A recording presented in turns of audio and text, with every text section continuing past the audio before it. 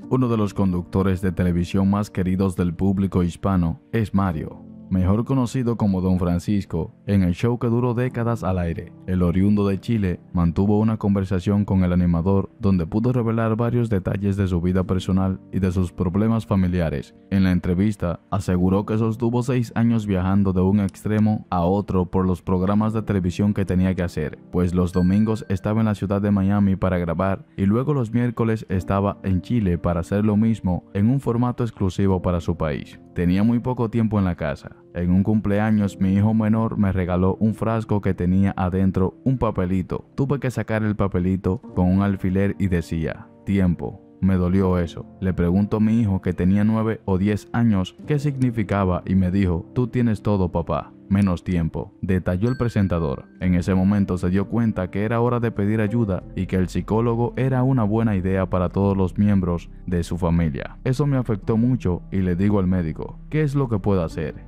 El médico me dijo, bueno, haga algo, busque un día especial con ellos, contó. Ese punto de quiebre hizo que don Francisco se tomara los días martes como especiales, para así estar más tiempo con su familia y solo dedicarle medio tiempo. Asimismo recordó el regalo que le dio la madre de sus hijos para demostrarle quién era él. Me dio una cámara. Cuando se encendía la cámara, yo aparecía en la televisión sonriendo y cuando estaba apagado, yo aparecía en el televisor triste, porque mi personalidad cambia en cámara, narró. En otra entrevista que tuvo con F, el chileno aseguró que era momento de ceder el micrófono a otra persona luego haber cumplido su misión de informar y entretener. Siento una gran satisfacción de haber cumplido con la misión de un conductor que es entretener, informar. Ese es el mejor pago que me recuerden como una buena persona y he sentido de parte de la gente que he cumplido, confesó.